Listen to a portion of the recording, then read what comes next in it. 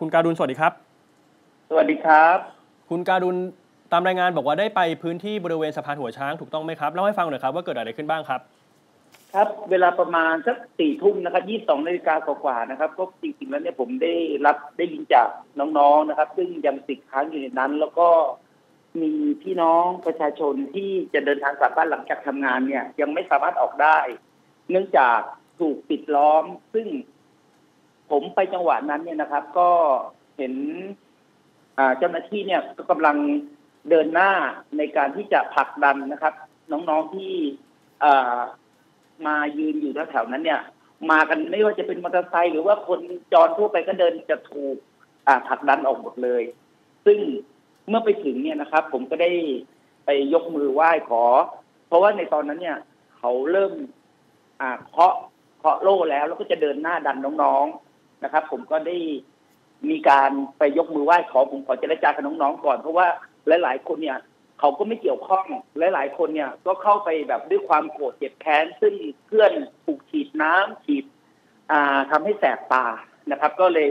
ทำให้เกิดภาพออกมาว่าเราเนี่ยเหมือนกับว่าต้องไปยกมือไหว้ ขอร้องเจ้าหน้าที่ปลกปลกนะครับ ว่าขอให้ผมได้มีโอกาสเจรจากับ อ่าน้องๆหรือว่า ผู้คนที่อยู่ในบริเวณนั้นก่อนครับ เพื่อให้ครับเขาได้กลับกันอืมในการเจรจาก็ดีนะครับเขาก็เห็นด้วยเขาบอกเขาไม่เกี่ยวเขาก็มาดูเขาก็จะกำลังจะกลับบ้าน แล้วก็มีน้องๆกลุ่มมอเตอร์ไซค์บางท่านเนี่ย ก็เจ็บแทนที่เพื่อนโดนทำร้ายหรือว่าโดนแก๊สคือมันเป็นฉีดน้ำจริงผมก็โดน ผมยังต้องเพิ่งมาล้างหน้ายังแสบตาไม่หายนะครับ เป็นน้ำมาผมโดนแค่ละอองแค่นั้นเองครับ รู้สึกแสบตามากๆครับ ครับเอ่อตอนที่คุณการุณอยู่ในพื้นที่เนี่ยได้มีการควบคุมตัวผู้ชุมนุมหรือว่าแกนนำใครไหมครับ คือตอนนั้นเนี่ยนะครับ ผมไปถึงสี่ทุ่มกว่าเนี่ย จริง ๆ แล้ว อ่าเหลือไม่กี่คนเนี่ย แต่เจ้าหน้าที่ยังใช้กำลังเต็มระบบเลยครับ เจ้าหน้าที่ยังใช้กำลังเต็มระบบเลย ซึ่งจริง ๆ ในตอนนั้นเนี่ย ถ้ายกเลิกภารกิจเนี่ย ผมก็ถือว่าน่าจะจบภารกิจโดยไม่มีไม่มีอะไรนะครับ แต่ว่าในการผลักดันขับไล่เนี่ย เสียงเจ้าหน้าที่ชัดเจนครับ ในการที่จะบอกว่าอ่าให้ให้ให้เดินหน้าเต็มที่เดินหน้าเต็มที่แล้วก็ น้องๆ ซึ่งเขาไม่เกี่ยวเขาวิ่งเข้าไปในซอยเขาก็กลัวโดนจับก็ไปกระจับไปกระชากเขานะครับ ก็กระชากลากถูว่ามีเจ้าหน้าที่ครับ ชัดเจนเลยว่า จับไปให้หมดไม่สนใครก็ได้จับเห็นใครจับอะไรอย่างนี้ชัดเจนแล้วมีคลิปมีเสียงด้วยครับ มีก็เลยกลายเป็นว่ามันบางครั้งเนี่ย เราเคยเจอเหตุการณ์มาแล้วนะครับ ที่เกิดความรุนแรงแบบเนี้ยทำให้เหมือนกับว่าคนที่ไม่รู้เรื่องด้วยเนี่ยก็ต้องได้รับอ่า เขาเรียกว่าผลกระทบจากการเดินทางสัญจรไปมาตรงนั้นทำให้เขาเกิดการบาดเจ็บได้ แล้วก็จริงๆเนี่ยผมยืนยันว่าเจ้าหน้าที่เนี่ยใช้ความรุนแรงเกินเหตุนะครับ ในการที่จะเข้าในการสลายการชุมนุม ซึ่งเรียกร้องประชาธิปไตยตรงนี้ครับ อืมครับผมเออตอนนี้เนี่ยพรรคเพื่อไทยจะเข้าไปใช้สิทธิ์ของ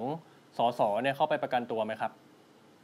คือในส่วนตัวผมนะครับ ยังไงผมก็ใช้สิทธิ์มาตั้งแต่แรกแล้ว ในการที่จะประกันตัวนะครับ คนที่ถูกจับกุมคุมขังโดยที่เขาไม่ได้อ่ารับความเป็นธรรมในเบื้องแรกนะครับ หมายถึงว่าในส่วนที่เป็นหน้าที่ในด้านสิทธิมนุษยชนในด้านสิทธิส่วนบุคคลของเขาเนี่ยควรได้รับการประกันตัว ผมเองเนี่ยก็ยืนยันว่าจะใช้สิทธินี้ในการที่จะประกันตัวคนที่ถูกจับกุมคุมขังนะครับ อืมครับ ผมอ้าวมีอะไรอยากจะบอกกับ รายการผ่านไปผ่านทางรายการบ้างไหมครับ ครับก็คืออย่างนี้ครับไม่ว่าจะเป็นผมเองเนี่ยยืนยันว่าเรียกร้องประชาธิปไตยนะครับ อยากเห็นรัฐธรรมนูญที่ดีๆ แล้วก็ให้ประชาชนได้ใช้กันนะครับ แล้วก็ที่สำคัญเนี่ยการชุมนุมเนี่ยนะครับเขาไม่ได้สร้างความรุนแรงอะไรเลยนะครับ แต่ว่าด้วยคนออกไปมาก เจ้าหน้าที่ทางรัฐก็ขอนะครับให้เห็นว่าการที่ใช้เขาเรียกว่าใช้ใช้ ความรุนแรงหรือว่าใช้ความเข้มมากเกินไปเนี่ย ก็จะทำให้เกิดความสูญเสีย